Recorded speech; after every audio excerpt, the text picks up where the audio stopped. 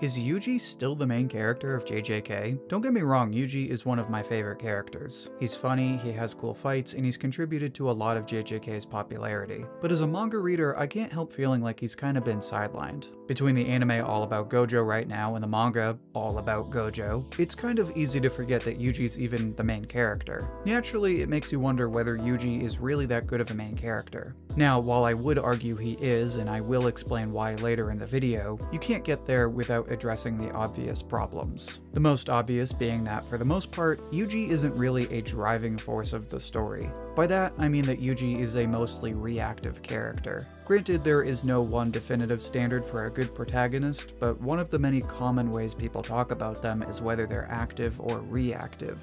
To illustrate what I mean, let's use one of the most common examples of this topic, especially considering it's often compared to and has many parallels to JJK. In Bleach, people used to label Ichigo as a bad protagonist because he is a reactive character. Whereas someone like Luffy goes out into the world and puts the events of the plot into action, Ichigo often finds himself at the receiving end of the plot. The plot happens to him rather than him actively driving the plot. Of course, people changed their perspective on this as the Thousand Year Blood War returned and it became cool to like Bleach again, but this was never a problem. Even when the plot happens to Ichigo, he still drives the plot. It is ultimately Ichigo's decisions and actions that drive the story of Bleach. Meanwhile, this isn't always the case in JJK. The story starts out with Yuji eating one of Sukuna's fingers, so in that sense it is ultimately a result of Yuji's actions. But for the most part when you are reading JJK, it never really feels like Yuji is the one driving the plot. After the first arc, you have the next arc where Yuji's team is assigned missions to exorcise cursed spirits. In both missions, Yuji is just doing what he's told.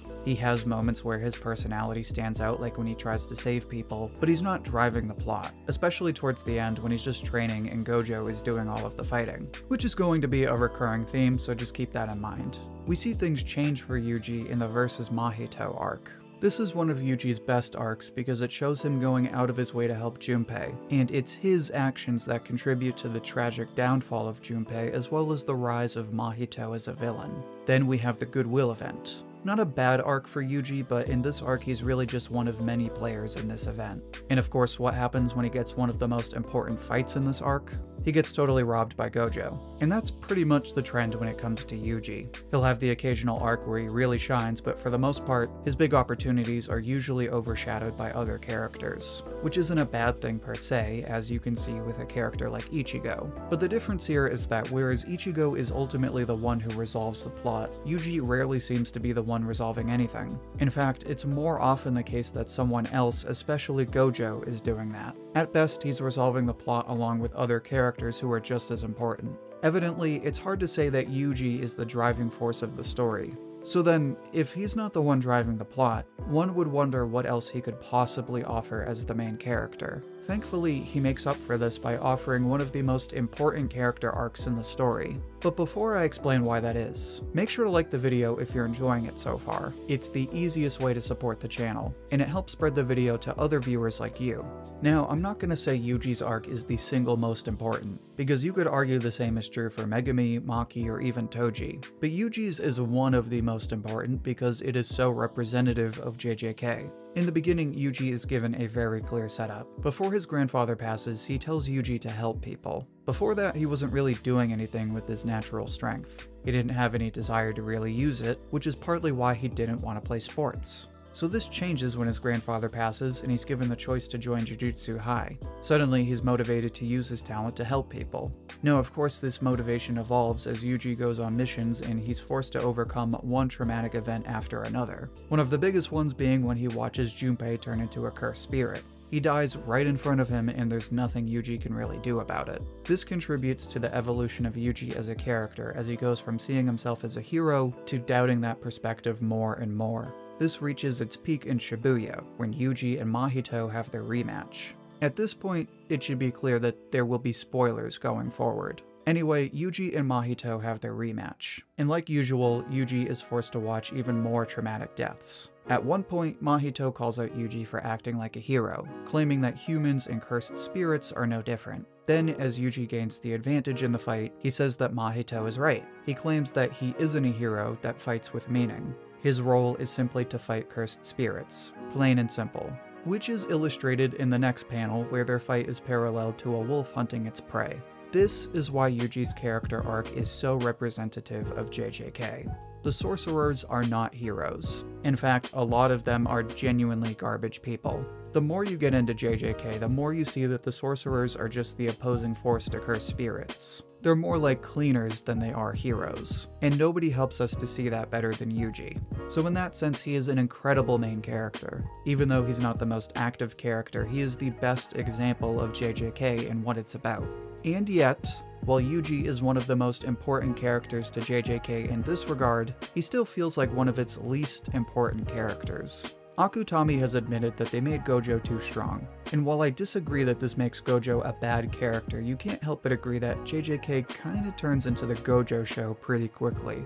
Gojo is the one to fight Sukuna when he takes over Yuji, but we'll give him that one. Gojo is the one to fight Jogo when Yuji is training. Funny enough, it's when Yuji finally gets involved that Jogo is able to slip away. When Gojo steps out of the plot, this is when Yuji is really able to shine as the main character. Then in Goodwill, Yuji gets a solid final fight, but that fight and arc are ultimately resolved by Gojo. Yuji shines somewhat in the next arc, is non-existent in Gojo's past. Then we get to Shibuya, the arc where the whole point is to seal Gojo. An arc where Yuji grows as a character, but he is one of many players. Ironically, Shibuya is a great point for Yuji as the main character because as soon as Gojo is taken out of the story, he's able to evolve as a character and take on more of the spotlight. In the arc following Shibuya, Yuji is forced to answer for his actions and has to work with the other characters to form a team that can win the Culling Games. Then in the Culling Games, Yuji is one of the many players, but there are moments where he continues to grow.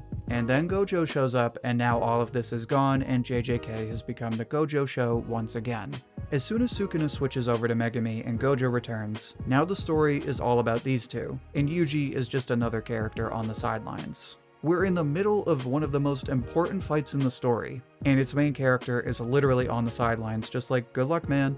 It makes it hard to invest in anything Yuji is doing because you know that it's just gonna get handed to Gojo, and it makes you wonder if there's even a place for him in the current story. Now, to that I have two responses. First and foremost, it's obviously still early to be calling the end of JJK. This fight isn't over yet, so it's a bit early to claim that Gojo is resolving everything on his own. For all we know, Gojo is gonna lose. In fact, all of the signs right now suggest that Gojo will lose in one way or another. So there's the fact that Gojo won't be winning this as easily as he usually does, meaning there will still be plot points left for Yuji to resolve following this fight. Secondly, even if this isn't the case, Yuji has still more or less fulfilled his role as the main character of JJK. Yuji is our gateway into the world of JJK. Not only does he represent the morally grey characters of this world, but he also allows us to project ourselves into it. He doesn't have the same lineage as the Zenin clan or the Satoru clan. He doesn't have any special abilities other than his raw power. At the end of the day, he's a regular meathead who is launched into this world against his will. So he functions as the perfect gateway into this world of Jujutsu sorcery.